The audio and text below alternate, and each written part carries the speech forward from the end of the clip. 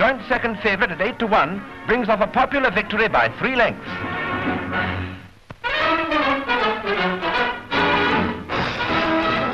Coronation visitors continuing their invasion of Britain are in the news, but their names are too numerous to mention. Dockside scenes of buzzing activity, people and luggage everywhere, may they all enjoy themselves. At a London station, royalty arrives in the persons of the Crown Prince and Princess of Denmark and are